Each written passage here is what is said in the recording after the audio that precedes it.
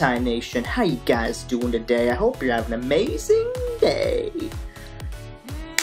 Guys, it is time to continue our NF journey, and we're gonna go ahead and just dive into the next song in the series. We just did the one for, or we just, I should say, did a reaction for Notepad in the last one. Really cool message behind that one. I love that he kind of like took the idea of like personifying a notebook and almost like making it his like friend in a way. Really cool. I love that. That was like a really, really like just clever way of doing that, and shows how much of a genius the NF is. So let's go ahead and dive into intro two. That is the next one on my list. And um, let's just go ahead and do this because I'm ready to see what he has for us. What what message are we gonna get this time? What kind of story are we gonna get this time? Would it be intro two? Maybe it says continuation of intro one. We'll see. So let's do it. Let's go. Yeah. All right. Alrighty, NF, what you got for us? Let's do this. all right, all right. Time to break it down. Not really break it down like dance, but like break down the lyrics, you know. I know, bad joke. I know, I know. Okay, I'm done. Okay, let's go. Ooh. Okay, so we got like, looks like a cabin. Oh, the chance Oh. There he is. What's up, dude?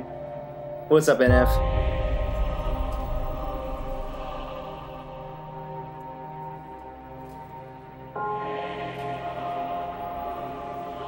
Ooh, therapy session.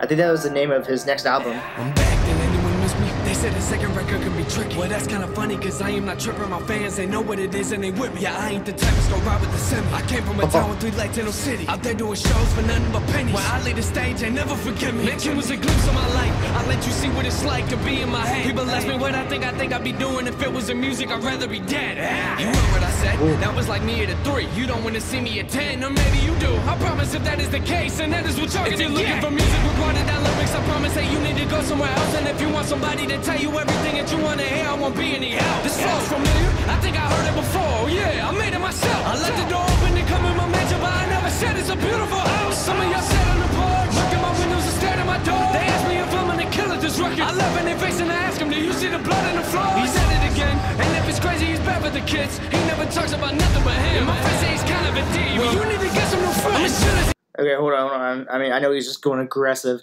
There's not really a break in the song yet, but I don't want to get too far into it and miss something. So it almost sounds to me like this is almost like um, it, it's almost like he's kind of like almost this is almost like a song to the haters in a way.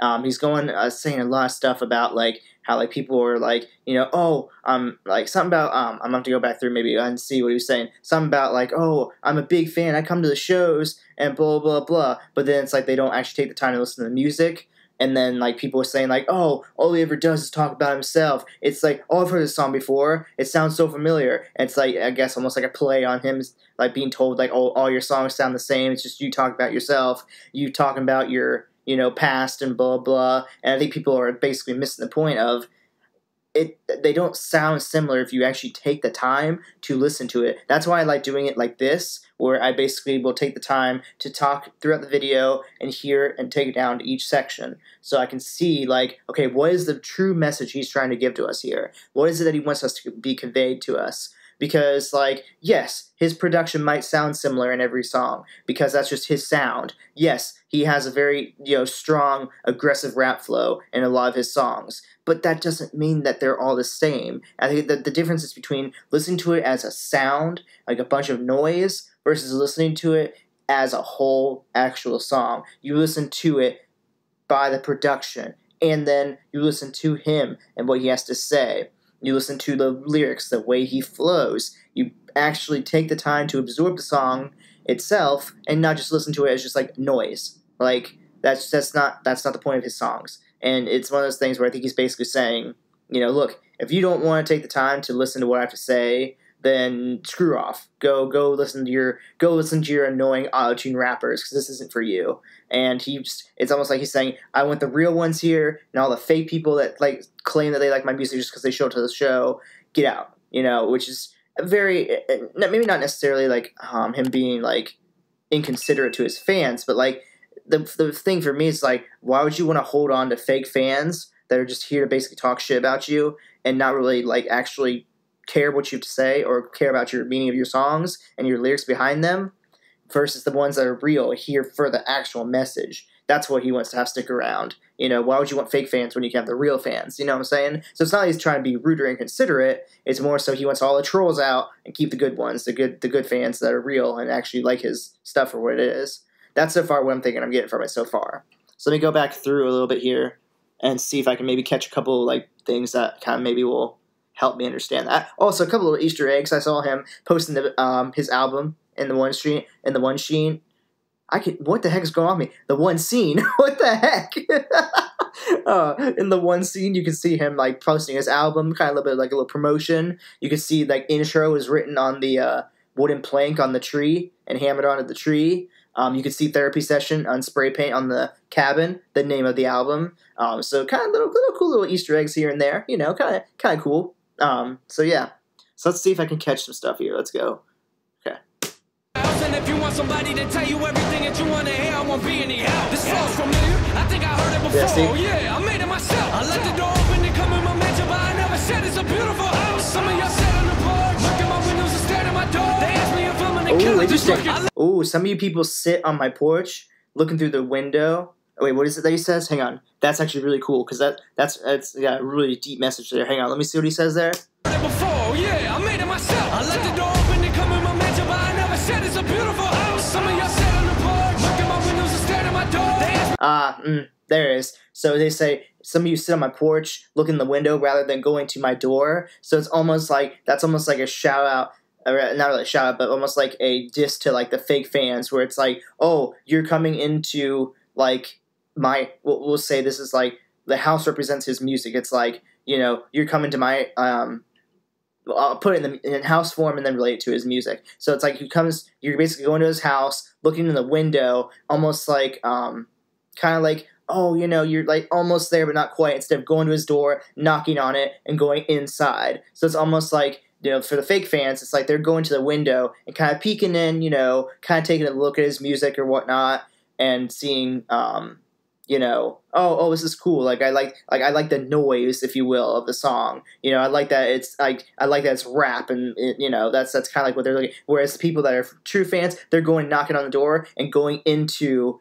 um, his house and actually looking into the shows and the lyrics behind his songs and the message behind his song more than anything. And if you also want to tie it back to um, Mansion, he's in the house into his you know and the house represented his brain his thoughts his conscious. So the true fans are actually going into his house his brain and connecting that way with the way he thinks and taking that on and relating to him and the way they think you know? So people are like going through the same like struggles that he does. They're almost embracing that by going into the house and you know like his brain. Huh? See? A little, bit of connection there maybe? Um i don't know if that really is like an actual connection that um is maybe like sought out by the fans, but I kind of came up with that myself. Maybe if not, then cool. I'm glad I caught it.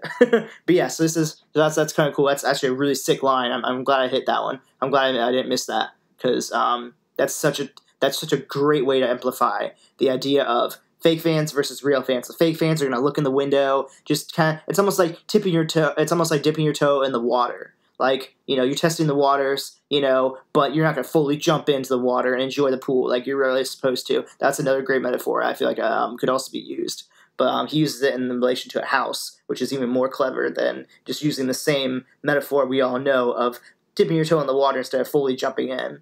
You know, he's using it more in a different method, which is, oh, shows how much of a genius he is. Anyway, sorry. Okay, let's keep going.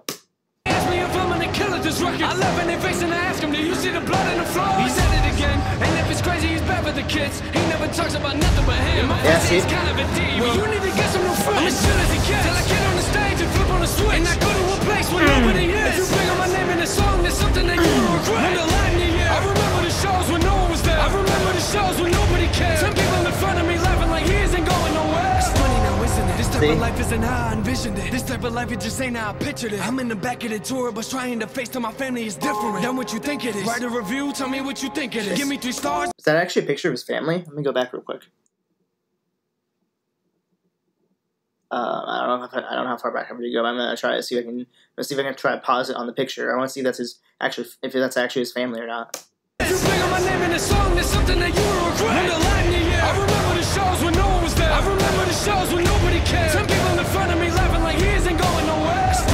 Yeah. This see, type of like that? isn't how I envisioned it. This type of life, it just ain't how I pictured it. I'm in the back of the tour bus trying to FaceTime my family. Here we go. Here, okay. So is this actually his family? Is this like him and his siblings with his mom? So like obviously this is his mom, and then that's I'm guessing that's obviously him because that's the only boy in the picture. so that could be him, and then this is his sister, and this is maybe his other sister he has. Um, oh, this could be him with his mom over here. There's a little baby NF with his mom. Could that be the case? Oh, but interesting. Where's dad? Is that a whole other side of the story that we haven't heard yet from other songs that I haven't got to yet? Interesting.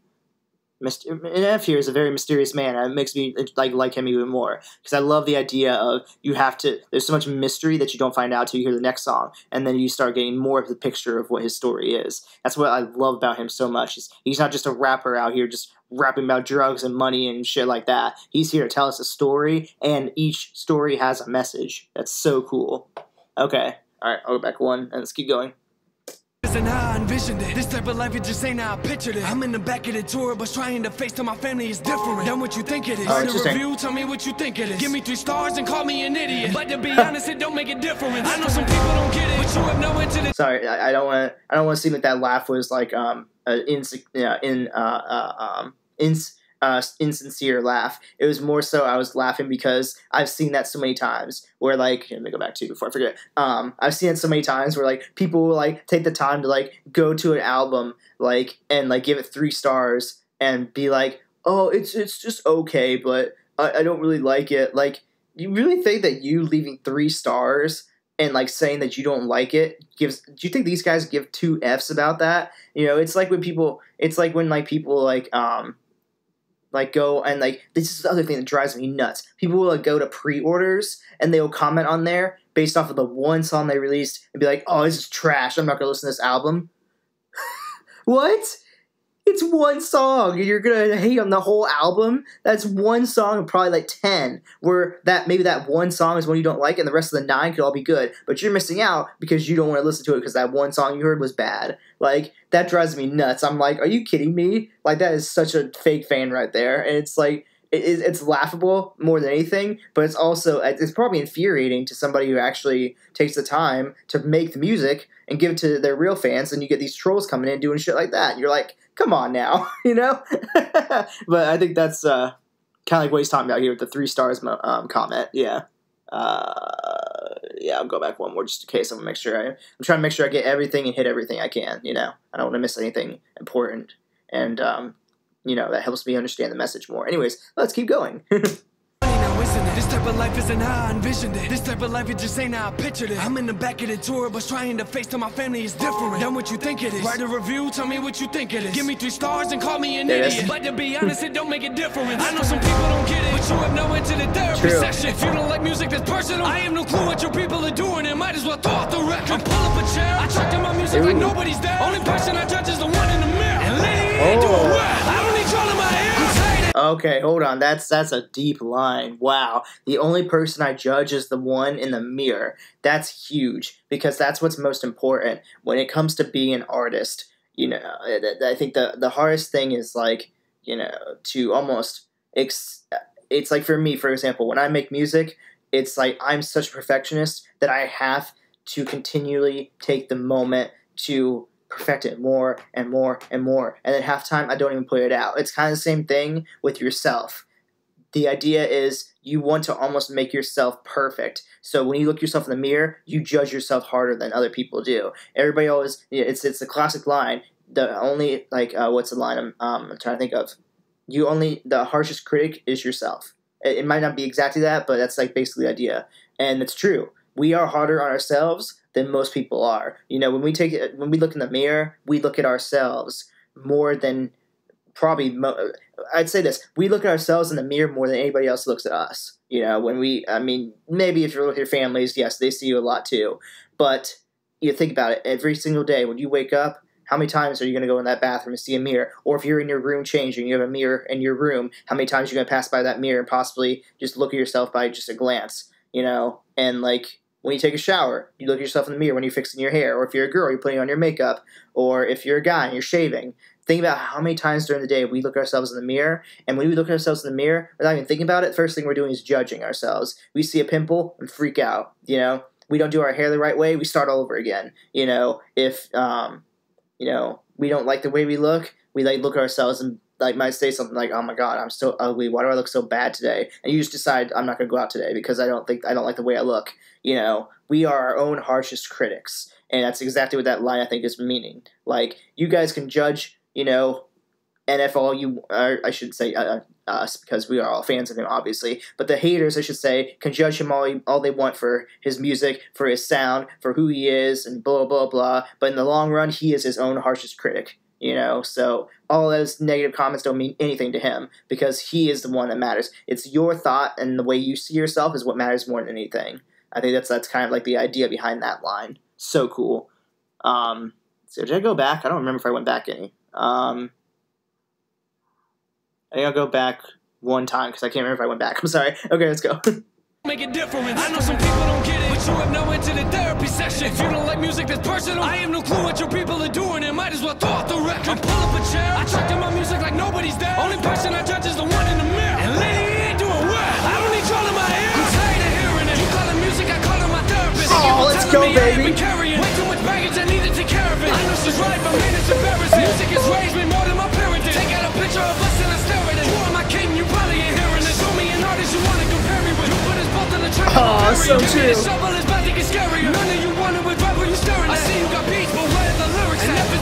Oh, oh, damn! That is a diss and a half.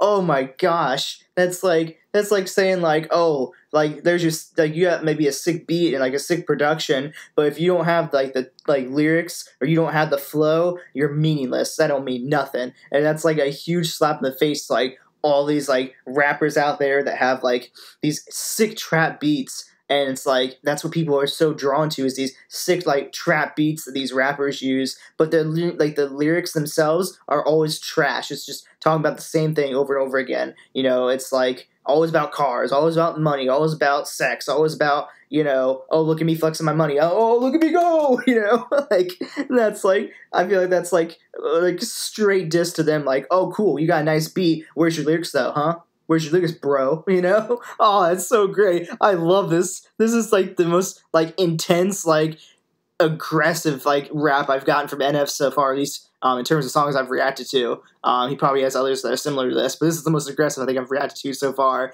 and I love it. This is insane. oh, there's production too. I forgot to mention that.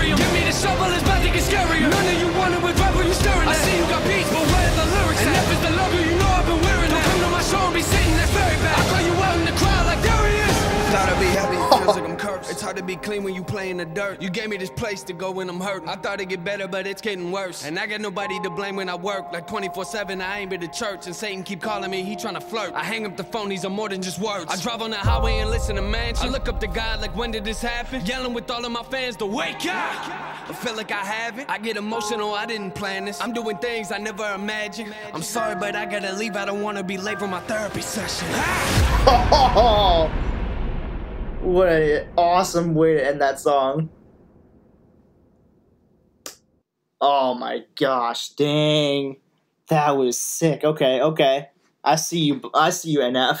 This is like this is new era because now we're into the second album. So this is like a new era of NF and like he's on another level now. But I my, oh wait, let me go talk to you guys. Sorry he is on another level now. So you can tell everything's starting to go his way now because much much higher budget for probably the music videos and um, the fact that um, he's he's getting a little bit more like group aggressive, I guess, and like the way he's acting. It's just the other thing is I always I've always I, have always meant to uh, mention this and I always forget to. His acting for these videos is actually extremely impressive. Like the way that excuse me he acts in terms of like him like punching that mirror, kicking the chair, and like it's like it's like when he's rapping fast and aggressive, he aggressively acts on that. Like I mean, acts like acting, not like acts like the word act, like doing something.